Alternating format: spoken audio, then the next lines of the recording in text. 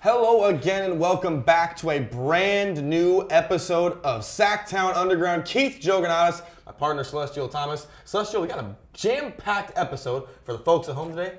Tell them what we're gonna have. All right, guys, before we begin, I want to let you know that all of the events featured here today and events happening around in Sacramento are in our community calendar powered by Sacramento 365. Keith? And we also got a feature on Sean's Coffee Shop and Bakery Celestial. They're celebrating their one year anniversary out there in Galt, California. Oh Our very own Tiffany talked to them. That sounds Check so good. I'm excited to see that. Tiffany is awesome. Yes, indeed. All right, guys, and some of our staff here, our lovely directors, producers, went out to Las Vegas to check out the NAB conference, the National Association of Broadcasters. We also got a great heartfelt story for you called The Power of the Bike, where a 27 year old woman is making the trek from Las Vegas to Arizona for a great special cause. That is going to be a tearjerker. That is going to be amazing. 27 years old, that's a feat. Um, Keith, you are going to be talking about the Kings later. What's happening with them? Yes, indeed. The Kings Celestial, as you know, are in rebuilding mode. For the first time in a long time, they had a productive season. The question now is can they jump off that and go forward, or are they going to continue to go backwards? I We'll can find out. tell you, you're the specialist. We'll find out. and then we're going to end this show today with our musical guest. They are Yellow Dot, straight out of the 209 Stockton, California, a rock band that is going to be special. And again, guys, please don't forget to look into um, any of the events happening out here in Sacramento and the greater parts of Sacramento on our community calendar powered by Sacramento 365. May 16th through May 27th, An American in Paris at the Community Center Theater. May 12th, Country in the Park 2018 at Cal Expo. May 12th through the 13th, ESAC Garden Tour at David Lubin Elementary. May 12th, Locke Asian Pacific Street Festival and Historic Locke. May 10th through May 19th, Sacramento Beer Week 2018 across the Sacramento region. June 2nd, Sacramento Taco Festival at the Boulevard. June 8th, The Empire Strikes Back at Community Center Theater. And thank you for that, Celestial. And that was our local calendar powered by Sacramento 365. Next on the show, we got a feature from our very own Tiffany, where Sean's Coffee Shop and Bakery has been serving delicious treats and tasty coffee for up to a year now. Tiffany went out there, Celestial, as the company prepares to celebrate their one year anniversary. Let's check it out. I'm Tiffany Gibson, your host of SacTown Underground, and today I'm here with Sean of the Coffee Shop and Bakery. It's a beautiful day out here in Galt, family, we're getting ready to talk about the coffee shop and what's going on here in Galt. Sean, tell us a little bit about the coffee shop and bakery. All right. Well, my wife and I started the coffee shop about a year ago. We just celebrated our one year anniversary about a week ago, and um, we had an idea to uh, open the coffee shop and the bakery. My wife had a bakery here about 10 years ago and did a lot of uh, cool recipes, and then we sold that business, and she just kind of missed that, and we wanted to kind of come back into that at some point. Have something where we could connect to, you know, the people of Galt in a more personable uh, manner, and you know, we kind of think of it as like the the, the coffee, the cheers of the coffee shops. You know, when people come in and we know everybody's names and we know their drinks and, and all that kind of thing. And so it's been fun. But I think what makes it special is a lot of people that come here on a regular basis. You know, they like the fact that they have to come in and they get that whole interaction with us. And, and it's a family-run business, so it's my wife and my daughter that um, are mainly the ones here, and uh, they have that you know talk, a little bit of bit of interaction, and then it's part of their ritual. Let's head inside and take a look. Okay. So, Sean, tell me, this is my first time here. What item do I have to get that I cannot leave without? Well, I would have to say probably our coffee cake. It's our, our best selling and well known item. We actually have it on our uh, menu board as our famous coffee cake. Um, it's my wife's recipe, and uh, it's all made completely from scratch. But uh, everything we make here is made in house except for the bagel. So everything is baked here either in the morning or the night before. Um, you know, some of them are our own recipe stuff. Our own personal recipes, but everything is baked here. My daughter Christian here actually uh, makes um, some of the things too. She makes uh, big jumbo cookies that are pretty popular. She even makes uh, these homemade dog treats that we actually have from time to time occasionally that are made from peanut butter and bananas. What is your top selling drink? Right. So obviously, you know, we're a coffee shop, so we make anything um, iced or um, or hot, and uh, we have the normal stuff you'd find in most coffee shops, like your mochas and lattes and and uh, you know our brewed coffees and things like that. Um, one of our number one sellers though is our is our cold brew coffee. We have a cold brew and then a sweet cream cold brew. What it is, it's a cold brew coffee and um, then our sweet cream cold brew has a splash of our homemade sweet cream that my wife makes. Um, and it's just a splash on the top and it gives that little bit of a sweet flavor. It is by far our number one selling drink. What a fabulous tour of your coffee shop and bakery. There's always good stuff going on here at the coffee shop and bakery in Galt. And with Galt having that hometown feel, tell me what are some of the big things that go on here in Galt that attract people here? I actually do a coffee and cars event here um, once a month getting ready to start that up again this spring, probably in April, um, where I, I have people come down on a Sunday morning, no charge, no entry, there's no awards. It's just people show up with whatever kind of car. Um, people hang out, mingle. We serve free coffee to these people, and it's just a good reason for you know people in the car, um, car uh, world and car enthusiasts to come out and, and hang out and you know have coffee, and then they can leave whenever they want, and it's a great event. And so we have an Independence Day event that's going to be coming up here. Tell us a little bit about that. Yeah, so um, that's probably the biggest event we do in Galt. It's put on by the city, um, and it's the Independence Day celebration. And this year it falls on the 30th of June, which is a Saturday before the actual 4th of July. And um, it starts actually in the morning with a uh, a memorial um, 5K run in honor of um, Kevin Tonn, who is a police officer who was killed in the line of duty here. And then about 10 a.m. they start the um, the famous parade we have. It's a huge parade. We pretty much have five people deep lining on the sidewalks all the way through the middle of town. Just families come out, kids. It's just a really small town feel type thing. Tell me a little bit. I've heard here in town that there's a toy drive that gets done every year. Tell me a little bit about that. Yeah, so uh, the CSD, which is the Cosumnes uh, Fire uh, Department, it's a Elk Grove Galt um, Joint Fire uh, Fire Department, and the police department do a toy drive um, where they try to generate toys for um, needy families. And this last year, um, so they've been doing that for a few years. This last year, um, they reached out to me because they knew about our coffee and cars and said, "Hey, Sean, you know we're a little bit short on our drive this year. We haven't met our mark. Is there any way we could do something?" We were literally four days away from the drive day. Wow! And in four days, I you know made phone calls. I went on some of the local businesses. And that's the great thing about small towns. You can go to local businesses, mom and pops, and say, "Hey, you know, can you donate some pizza for the local pizza parlor and Stratton's Pizza here in Galt?" awesome, awesome business. They said, yeah, sure, how many pizzas you want? And went to other businesses and said, can you donate this and donate that? So that small town feel really does pull things together. For Galt sure. is a fabulous city if you're looking for a place where everybody is family, everybody knows what other people are doing and businesses and that good small hometown feel that we just don't get in our bigger cities. Galt is your town. Galt is your place. It sounds like the people that live here, they're our people. And so, back to you in the studio. All right, guys, and that was our lovely Tiffany out in Galt at Sean's Coffee Shop and Bakery, where they host lovely events, serve delicious treats, and excellent coffee. If you guys are ever in the area, please definitely check into that. All right, now we're going to take you out to Matthew Gilliam at the NAB conference in Las Vegas. He will be inter interviewing TV Pro Gear.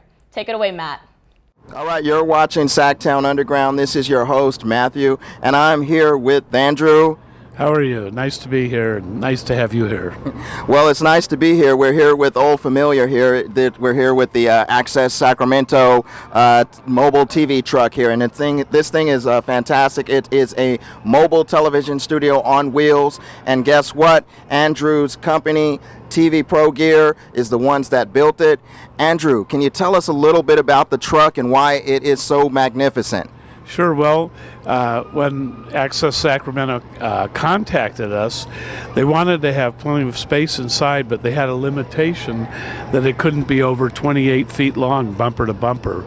So we had to come up with a new design with opposing facing consoles, and seems to have worked up worked out pretty good. Well, yeah, it's worked out fantastic. You know, this truck is uh, gotten a lot of attention, not only down here at the NAB show, but anywhere that uh, it's seen in Sacramento. And uh, the truck it has many applications uh, from pro sports to different events and things like that. And uh, I didn't know that it was specially designed. So, how long did that designing process take? Was that a long uh, process? Um, it was fairly long. The design was about a three month uh, process, and uh, Gary and others and uh, Ronisha had a lot of input and suggestions that we incorporated. And then once we had a, the design locked down, it took about five months to build. I was talking with one of you guys' reps earlier, and she was telling me to my surprise, that you also built gear onto aircraft carriers yeah. and the space station. Can you tell us about that? Well, the we I think are the exclusive uh, manufacturer for the Navy aircraft carriers. So we build the on-ship TV and radio stations. They're pretty similar equipment to what's in this, but um, everything has to be on a sway brace to rock and rock with the ship over the waves, and uh, special hardware that doesn't corrode because it's in a very salty atmosphere but uh, we're pretty proud to be able to help with that. And we we're just finishing up with CVN 79, the John F. Kennedy. It's our second carrier. And we have two more that we just got orders from, so that's nice business. Can you tell us anything else that you guys have going on, or is, is it, it seems like you're borderline top secret with some of this stuff? But uh... we do have three different styles of trucks here that fill diff- for different applications and different different budgets. But um, our clients range from the military to the major networks to schools and um, you know public government entities like PBS and Access Sacramento. This is Matthew Gilliam for SacTown Underground on Access Sacramento. Back to you guys. Matthew, that's awesome. TV Pro Gear out there representing with their mobile studio service. I didn't even know that was a thing, but apparently it is, and that's a lot of technology to be lugging around. But earlier in our studios, Keith took the time to interview uh, Matthew about his time out in the NAB Las Vegas conference. Take it away, you two. Welcome to your own show. well, thanks for having me, Keith. Um, talk to us about your experiences at the National Association of Broadcast and what did you come across? Uh, one thing that was particularly interesting was uh, digital projection and Delta Company's brand new 8K DLP laser projector. Another uh, item that was premiered exclusively was the Blackmagic Pocket Cinema Camera 4K. We also took time to stop by Vimeo's booth, and uh, Vimeo it was actually promoting their new OTT service, the ability to live stream or to stream video packages. There was a lot of exciting equipment there. Those are just a few of the specific items that were very popular there. Our next story talks to us about a 27 year old woman named Laura, who, using the power of the bike, is going from Las Vegas to Arizona on a special trip for a very special cause. Our next story, called The Power of the Bike, we bring it to you as Ronisha with a great interview, and we can't wait to see it. Let's hear it. Past year or so, I've been getting really into bike riding, and I've been wanting to plan a long tour. And so when the opportunity came up for me to drive my dad out here, I thought, well, I'd like to visit my mom too what if I turn this into an adventure for myself and throw my bike in the back of my dad's U-Haul and come out here and then bike out to visit my mom. And so as soon as I got that idea, I got on the internet, I started planning out routes, I got on Google Maps and saw if this was something that would be possible to do. And um, it became a reality. So I've actually had my bike for a few years now, but I haven't done any big trips with it. But I've been interested in the idea of bike packing. Um, there's this sort of whole online community and culture of bike packing and people that do these long trips, or it's also called bike touring. Just having everything you need on your bike and going off and just doing it. Um, I will have um, I have a multi-tool with knives on it, so I have a knife. Um, I promised my mom I would zip tie a um, pepper spray to my bike, so I'll have that. Um, but besides that, I mean, I need to conserve space. I'm packing everything I need. I need to conserve weight, so I'm. The main concern is going to be having enough food, and so I'm using most of the space in my bags to bring food. Um, and it's going to be hot as hell, so I'm basically expecting to be covered in sweat and dirt the entire time. I'm going to be a dirt bag, but that's okay. I mean, it's part of the experience, and so I keep envisioning the moment when I roll into Goodyear, Arizona, where my mom lives, and ride down the street to her house and just knock on the door disgusting, like dreads in my hair, covered in sweat, and just like ring the doorbell and then be like, I made it. And thank you to Renisha for covering that very inspirational story. Laura is a lovely young lady.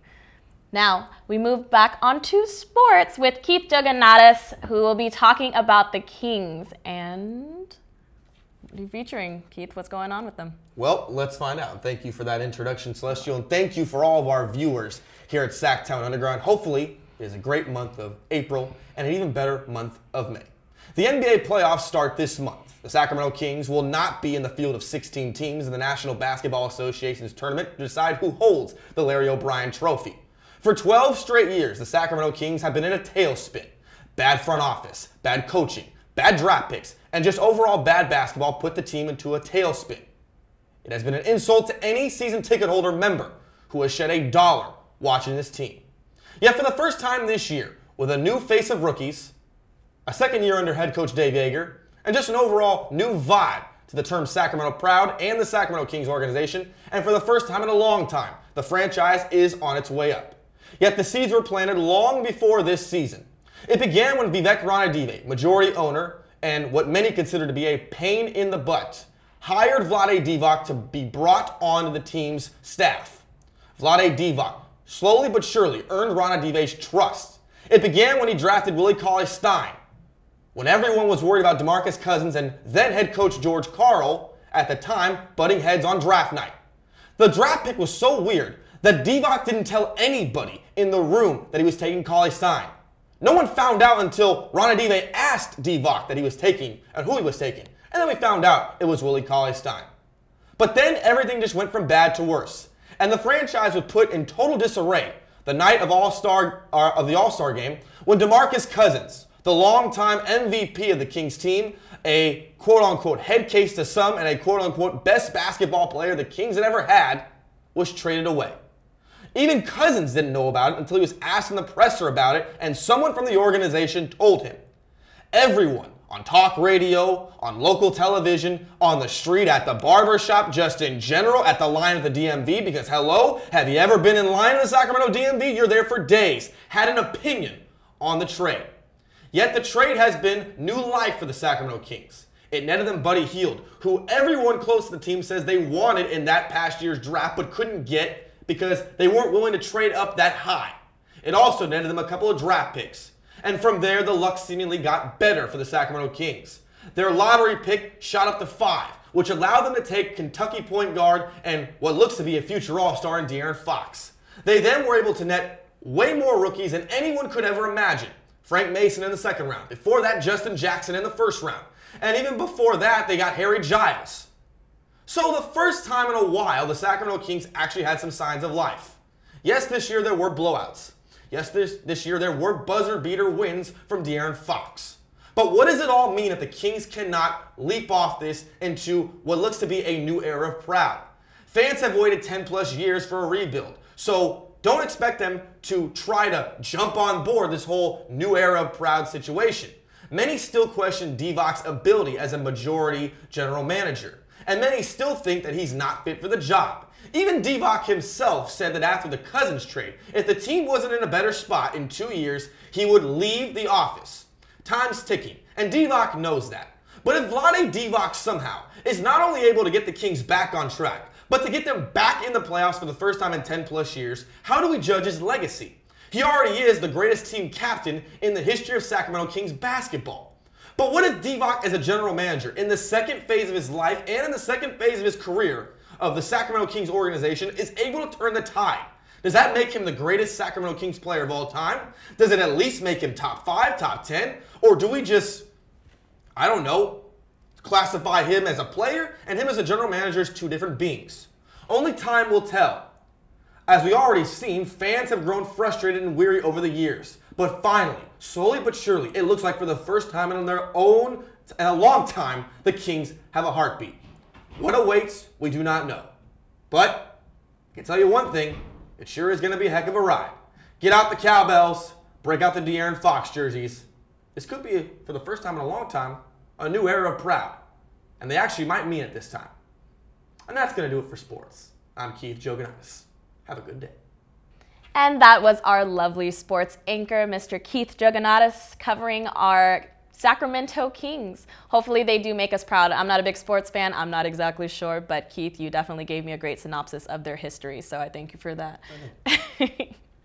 All right, guys, and as you know, we always end our show with a musical guest. Today's guest will be from Stockton, California, band Yellow Dot.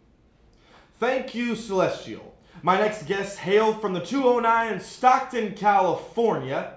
They are an eclectic band that plays a variety of instruments and a variety of sounds come through their airwaves in their music. You can catch up with them on their website, their album at yellow.music.com, as well as on their Facebook page for all their tour updates, concerts, things of that nature at Facebook at yellow.music. Ladies and gentlemen, Yellow Dot. And I'm joined by David Molina. And David, thank you and thank all of you for joining us here on SacTown Underground. Hey, nice, Keith. Hey, thanks for having us. Real quick, before we get into some questions, why don't we go around and just introduce uh, each of the three members of this band here at Yellow Dot? Okay, we have uh, John Tiano on harmonica and uh, guitar and percussions. Okay. We have Manuel Gonzalez on percussions and guitars at times. Okay. And then myself, uh, string players and percussions.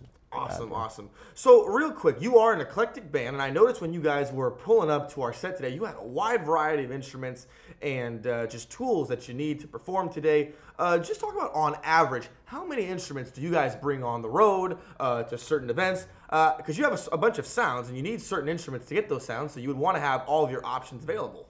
Yeah, definitely. Uh, on hand, sometimes anywhere from six to eight instruments. You know, depending on the genre that we're doing, some come and some go.